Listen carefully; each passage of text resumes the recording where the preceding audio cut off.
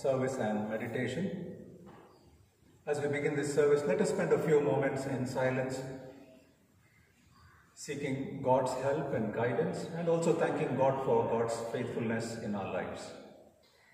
Dear God, we praise you for this time of gathering and meditation. Help us to discern your purpose for it. Reset ourselves as we present ourselves in your presence. We believe that your guidance, your guiding presence surrounds us in all our activities. Strengthen us to revive our intentions in the light of your life and your word. Let our thoughts reflect your will. Help us to understand that we don't need full clarity to walk into the ways and purposes you have laid in our lives. We pray this prayer in the name of Triune God. Amen. Let us sing this familiar song, Saranam, Saranam, Saranam. Jesus, Savior, Lord, Lord, to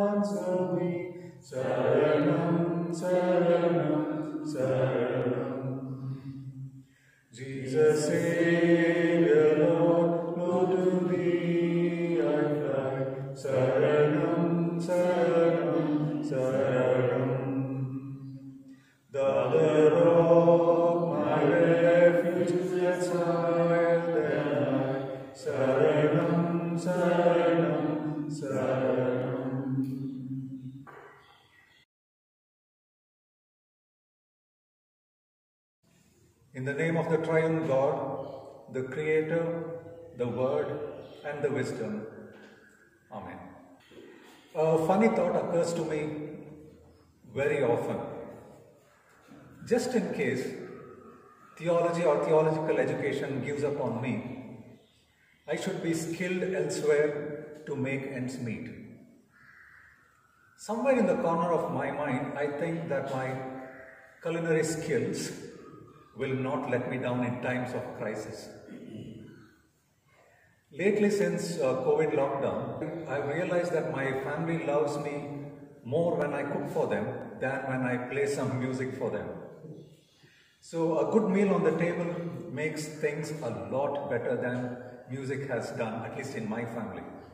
It heals the differences, it rejuvenates us, humbles us, and also helps us to come out on various thoughts that bother and challenge us.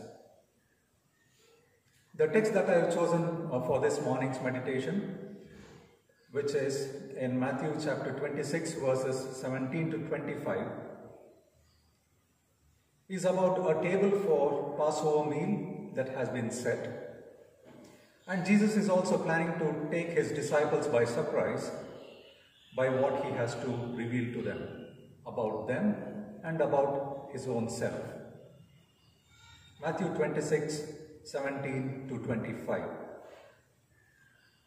On the first day of the festival of unleavened bread, the disciples came to Jesus and asked, Where do you want us to make preparations for you to eat the Passover? He replied, Go to the city to a certain man and tell him, The teacher says, My appointed time is near. I am going to celebrate the Passover with my disciples at your house. So the disciples did as Jesus had directed them and prepared the Passover. When evening came, Jesus was reclining at the table with the twelve. And while they were eating, he said, Truly I tell you, one of you will betray me. They were very sad and began to say to him, one after the other, Surely you don't mean me, Lord? Or in other words, it's not me, right? It's someone else, right? Jesus replied, The one who has dipped his hand into the bowl with me will betray me. The Son of Man will go just as it is written about him. But woe to that man who betrays the Son of Man. It would be better for him if he had not been born. Then Judas, the one who would betray him, said, Surely you don't mean me, Lord? In other words, it's not me, right? It's someone else, right? Jesus answered, You have said so.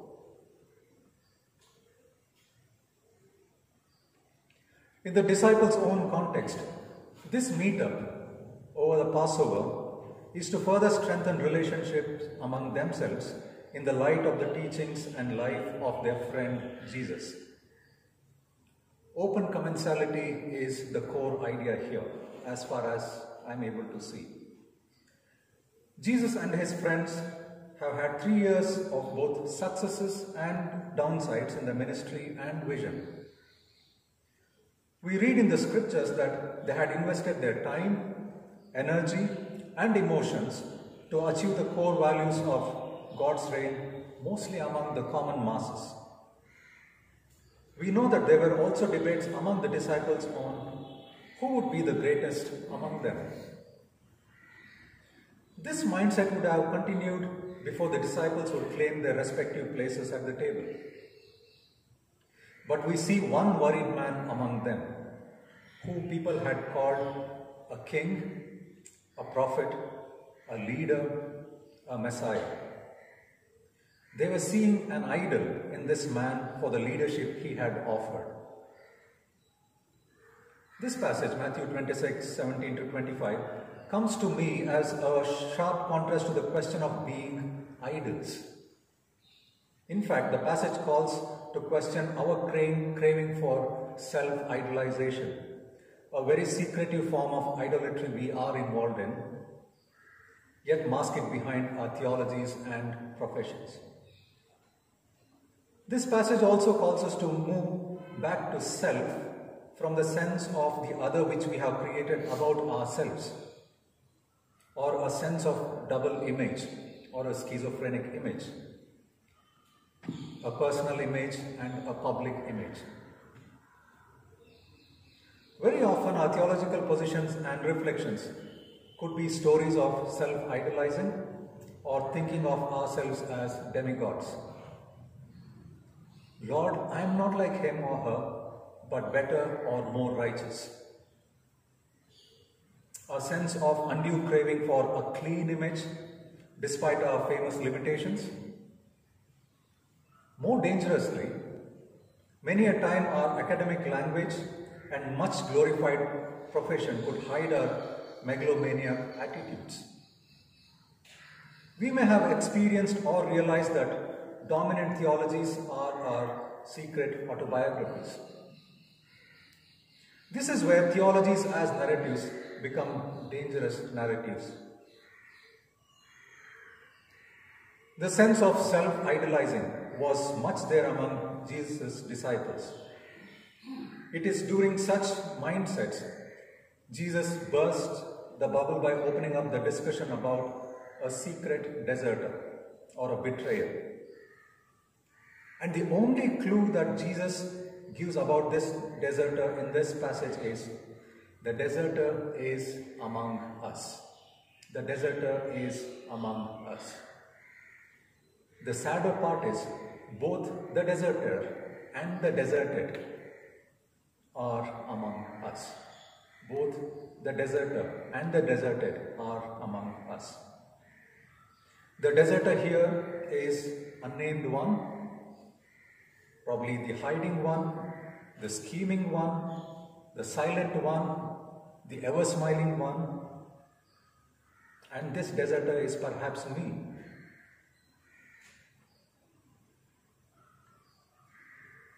It is important to observe that Jesus does not name the betrayer. But because we have an advantage of the hindsight of the narrative, we know by now that the betrayer is Judas. But in the disciples' own context, as they sat around the table relaxed, relaxedly reclined, The betrayer could have been a Thomas, a Peter, an Andrew, a James, a Philip, or any disciple that we wish to identify ourselves with dearly for self respect or for Christian self esteem around whose stories we often build our own images and narratives as non betrayers. I think we should also use the same advantage of this hindsight, which will make us aware that these disciples betrayed Jesus in their own ways at different times, both before Jesus' death and also after his death and burial. In our self idolizing tendency, we quickly make villain or Judases out of many among us in our communities, in our congregations, and in our families. Even the disciples thought that the culprit was outside of themselves. A self, a sense of spotless image that they wanted to give to others. In a way, the disciples were in the process of creating a self sanitized image of themselves, an idol of themselves, worthy of worship, so to speak. And this passage has our story too, a kind of story that we may not want to hand down to our next generation at all. This could be a story of self idol which cannot take criticisms. Surely you don't mean me, Lord. Probably it's someone else. This could also be a story of self idolizing through which we try to influence Jesus' judgment about us. Jesus, don't look at me, probably the person is elsewhere.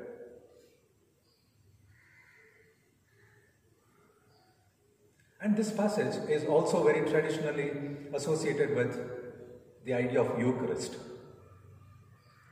And therefore, we tend to restrict the ethic of Eucharist only to closed commensality. In a closed commensality, the table is open to those who share a similar social image and power, which keeps the rest of the community away from the table and make them suffer despite enough resources to go around to every member in the community. Betrayal is practiced even at the Lord's table. Both historically and even in our own times in very subtly creative ways. The meal around the table is supposed to bring us together as God's community, among other matters. The Eucharistic community is a covenant community, as made clear in the identification of the communion of the saints, which shares the grace of God with God's family. And Jesus was opening up this sense of social relationships over a meal. So, therefore, knowing oneself in the light of the other's place in breaking the self idolization, Johannes Metz, a very famous theologian, has this to say The issue of suffering or the lack of acceptance is not merely a matter of individual private concern but also of a political action.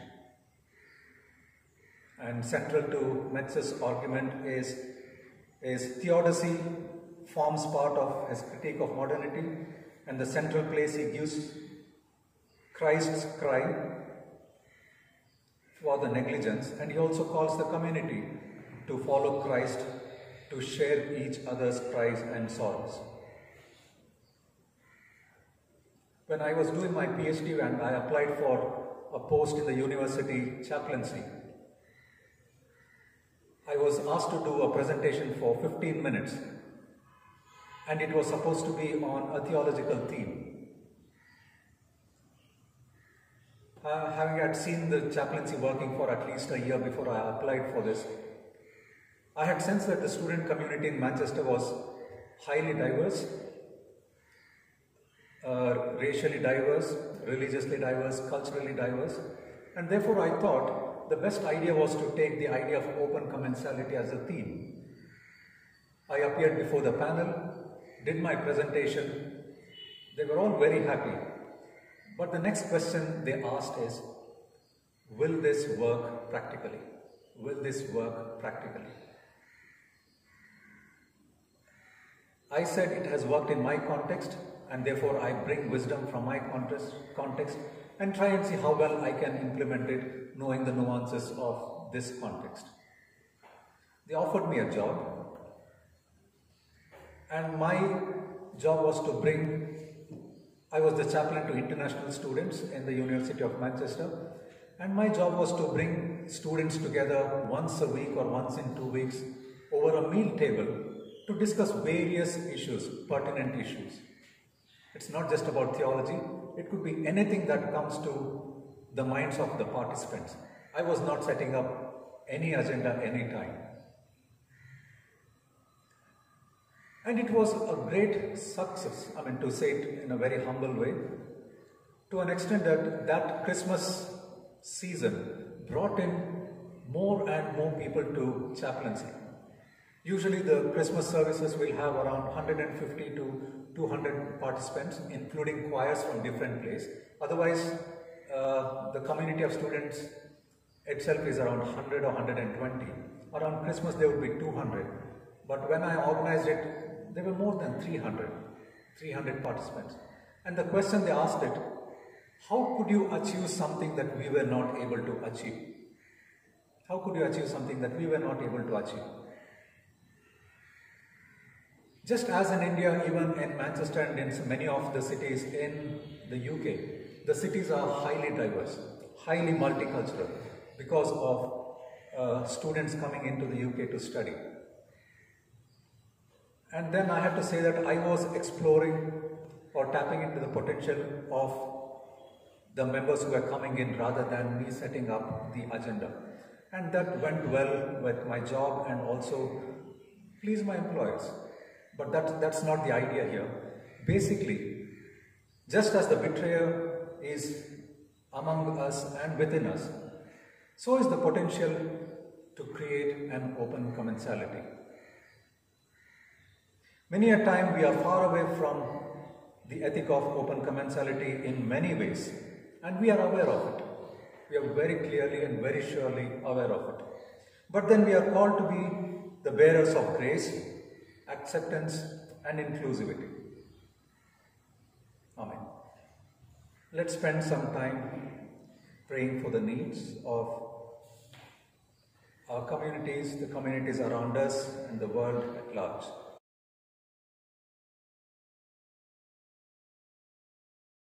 Let us pray for all who experience fear or anxiety due to COVID, floods, or for various other reasons and for the affected families who are facing difficult decisions between food on the table or public safety.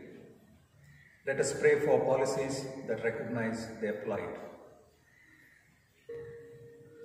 Let us pray for peace of mind and spirit of those who do not have adequate healthcare facilities, support systems, and facing financial burdens.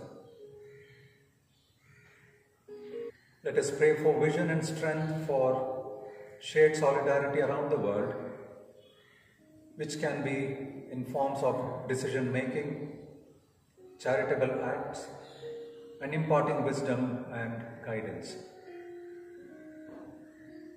Let us pray for the church to be a sign of hope, comfort, and love to all. Jesus, Savior, Lord, to thee I fly. Saranam, Saranam, Saranam. Thou the rock,